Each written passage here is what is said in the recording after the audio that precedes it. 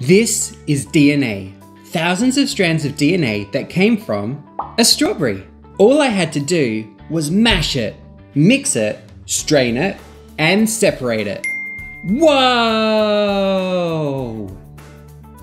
Today, I'm going to show you how to get DNA from a delicious strawberry.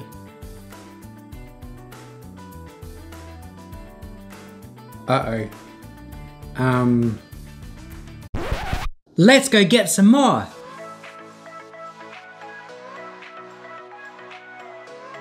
Are you ready? Then let's get science. After a 30 minute drive along the expressway, through the tunnels, and into the hills, Beck and I arrived in the small town of Hahndorf. While it looks like I got distracted with the bakery, the sweets, the arcade, the mini golf course, and a few other things, I didn't forget my mission to visit the Beerenberg Strawberry Farm and fill this box with the biggest, freshest, and tastiest strawberries on the planet. And this is how it went.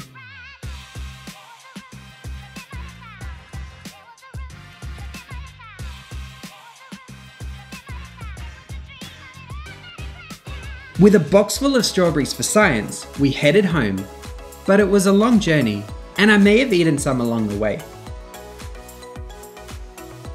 The end. What? No, it's not.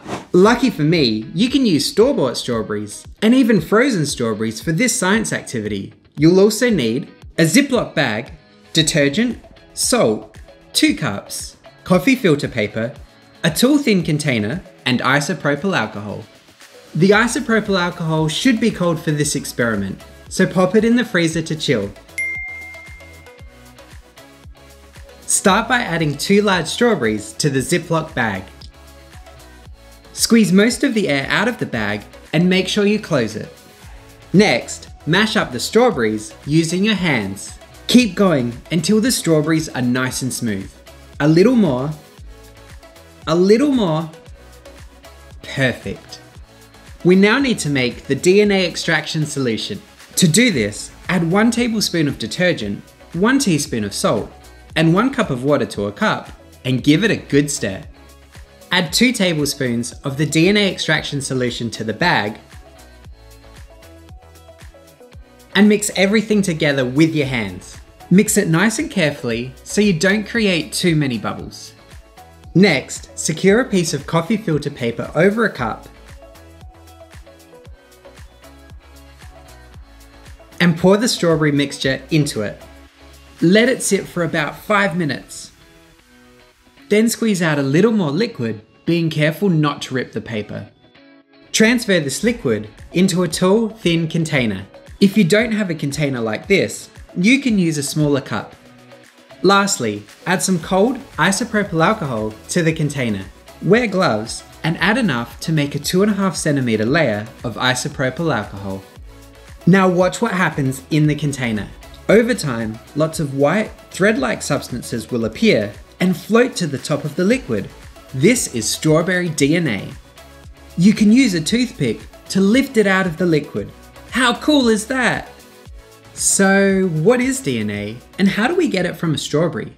To answer these questions, we need to take a closer look at this strawberry. Okay, so this isn't a real strawberry. It's a strawberry made out of Lego. But stay with me. If I split the strawberry in half, and then half again, and if I keep going, I'll eventually get a single Lego brick. A real strawberry is actually very similar. It's not made from Lego bricks, but it is made from the building block of life, known as a cell. In fact, all living things, from flowers to dogs and birds, and even us, are made of cells. But what makes the cells in a person different to the cells in this giant strawberry? The answer is their DNA. DNA, or deoxyribonucleic acid, is a molecule inside the cell that has all the information needed to build and maintain the cell.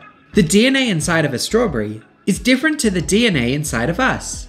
In plants and animals, DNA can be found in a part of the cell called the nucleus.